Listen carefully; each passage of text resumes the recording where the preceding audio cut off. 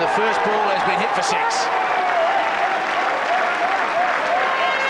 So you know that Mark Taylor's in form when he pulls the ball, and when he pulls it for six, then you know he's in very good batting form. 97 he's moved to now. What a shot.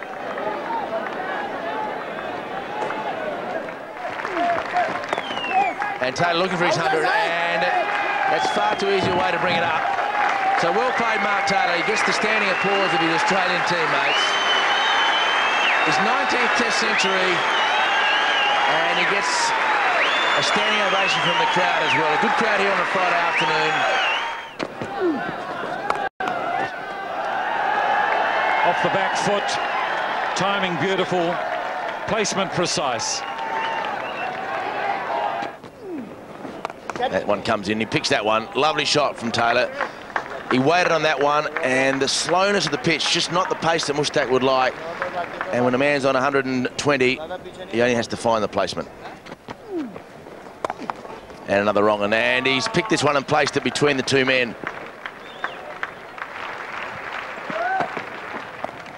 And slow short ball, just pulled away effortlessly by the Australian captain. So four runs to begin the new spell. It's a glorious square drive. Tom, that's a magnificent shot. Just laid back on that.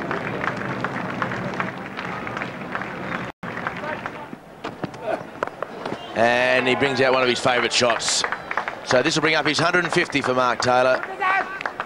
And two runs to bring up another milestone for the Australian captain. He raises his bat.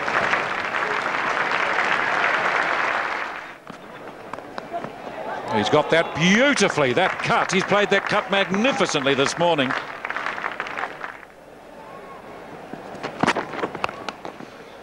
Inside it. There's three times with three different shots he's played square with the wicket in this over.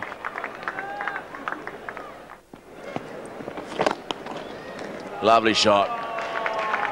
Mark Taylor not known as a great fluent cover driver of the ball or off driver of the ball, but on that occasion the timing was beautiful. And Taylor goes for four.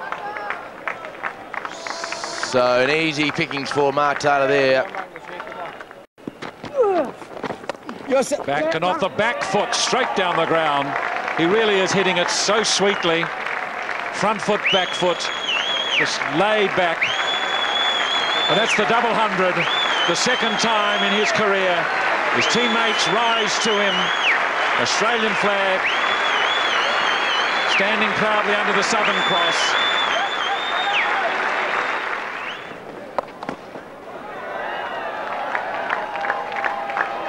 absolutely smashed away. Got what it deserved. Lovely shot by Mark Taylor. He's not the classical cover driver for a left-hander, but when he gets his foot to the ball and his placement and timing right, he does it beautifully. So he moves on to 226. And he goes away. And one bounce over for four. So the Australian captain decided to open the shoulders As Taylor whacks it for four through mid-wicket. He goes into the 260s. And he swings that away, looking for the boundary, and he's found it. So that's a bad ball from Malik. Taylor goes into the nervous 290s. Mushtaq Ahmed to bowl. Taylor on strike on 298. And he gets it through. So Mark Taylor will bring up his 300. He raises his left fist in exhilaration, and why wouldn't he? And now he shows some emotion that he hadn't showed before. The Australian skipper brings up 300 in a test match. What a moment, and he will accept the genuine congratulations of a number of the Pakistan players. Moin Khan, Aamer Sohail, his opposite number, comes in from mid-wicket to congratulate him. And what a moment for Mark Taylor, what a moment for Australian cricket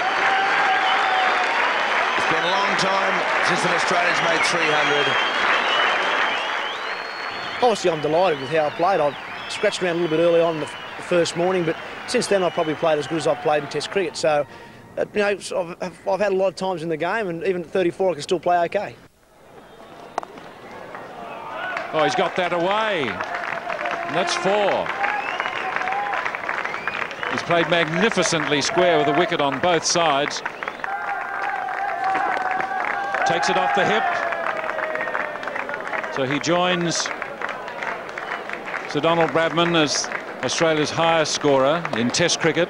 I'm delighted to finish on the same score as Sir Donald. Um, I don't think it's, I think it's probably the only time in my career I'll get compared to him, so it's probably not a bad a bad time to stop. And I, I think the world record's out of uh, is not a chance because it'll take me too long to get them. I can't see them bowling too many overs as this morning if we if we bat on.